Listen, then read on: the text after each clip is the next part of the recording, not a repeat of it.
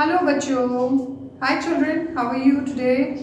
So as promised, uh, I've come with another. आज मैं आपके लिए एक नया टॉपिक लेकर के आई हूँ. टॉपिक क्या है? ये आप बताइएगा मुझे बाद में. I tell you a story okay आपकी मम्मी ने आपको uh, एक chocolate the.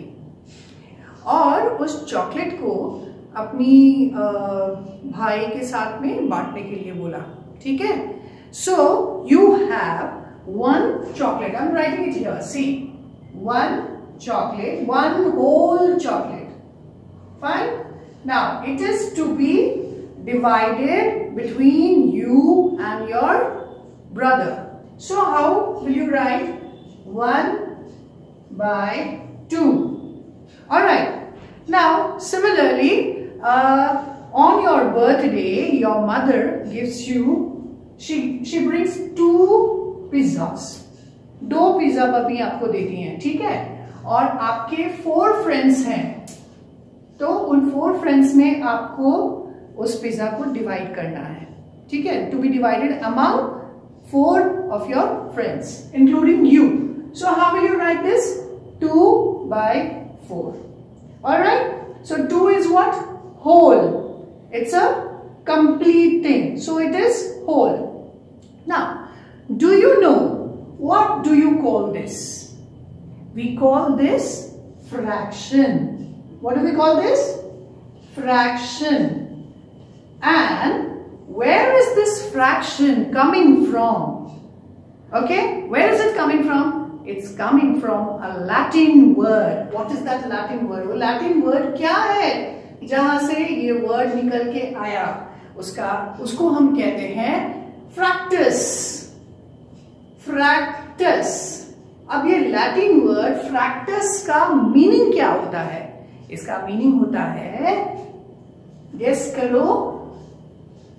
It means broken okay so fraction basically is what something which is broken कोई चीज़ जिसको तोड़ दिया गया, जिसके छोटे छोटे पार्ट्स कर दिए गए, उसको हम बोलेंगे fraction okay okay. Will you recognise a fraction whenever you see a number जब भी आप कोई नंबर देखें, वो इस तरीके से लिखा हो वन बाई टू बीच में देखिए, ये क्या है? ये स्लैश है। ठीक है?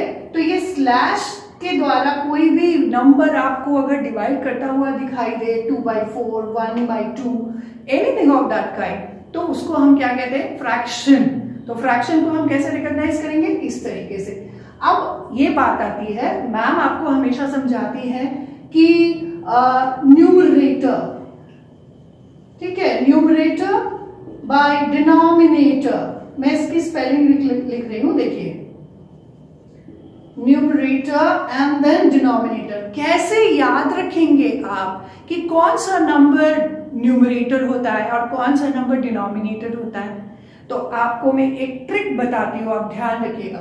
ये देखिए, ये स्पेलिंग देखिए, इसकी स्पेलिंग क्या लिखी हुई है? न्यूमरेटर न्यूमरेटर की स्पेलिंग में एक यू है, इसको मैं मार्क करती हूँ। ठीक है? ये यू है। यू से up just for you to remember and यहाँ पे क्या है? डी डी से डाउन तो जो नंबर ऊपर है, वो न्यूमरेटर है।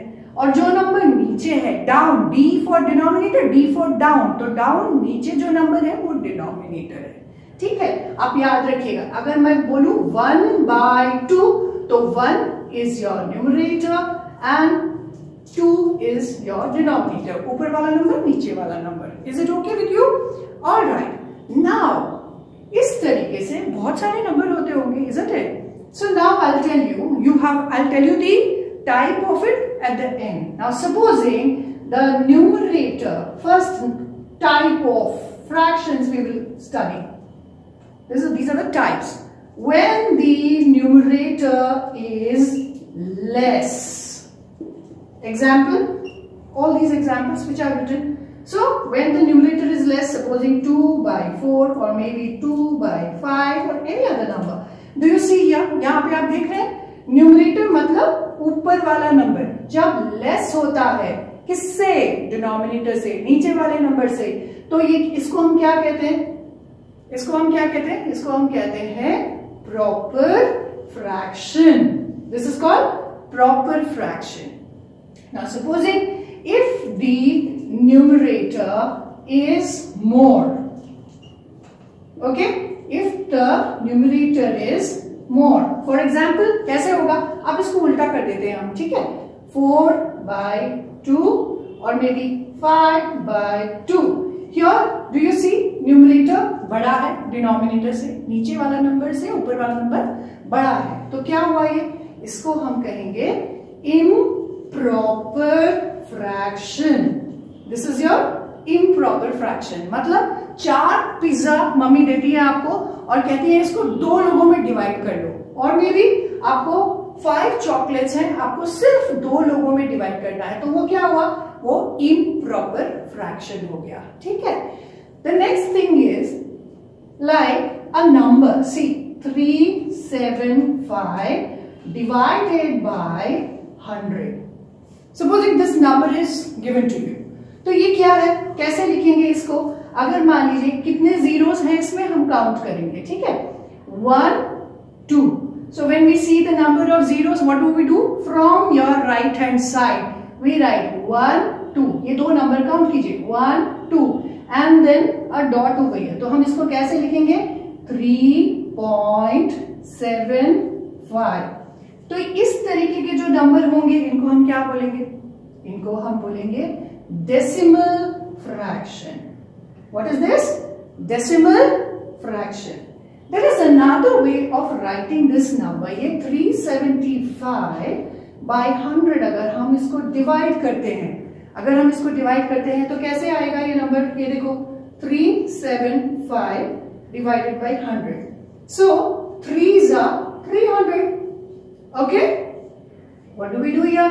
We subtract. So when we subtract, it comes The remainder is 75 and here you get the number 3. So how are you going to write this number? Please remember, नीचे क्या है denominator में 100 है तो डिनोमिनेटर में 100 ही होगा।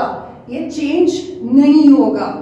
और ये जो रिमाइंडर है रिमाइंडर जो बचा हुआ जो नंबर है, वो हम कहा लिखेंगे? हम ऊपर लिखेंगे।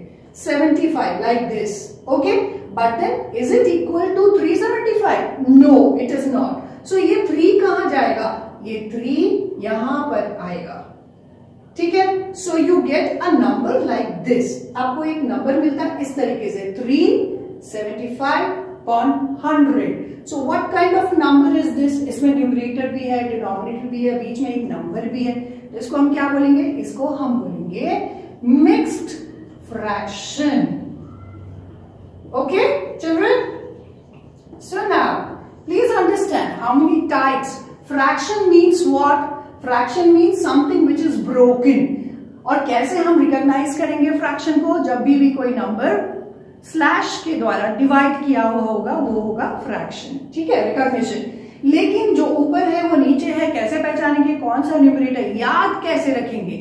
समझ में तो आ गया, लेकिन हम याद कैसे रखेंगे कि न्यूमरेटर कौन सा है डिनोमिनेटर कौन सा है? तो जो नंबर ऊपर होगा आप see the spelling of numerator तो जो अप है U P up it is ऊपर वाला number and denominator means down down नीचे वाला number that is denominator okay and how many types of fractions are there so we have proper fraction we have improper fraction we have decimal fraction and we have mixed fraction I hope you have understood. Was it an interesting session? You must tell me. Okay. So all the best. Try at home, all of you.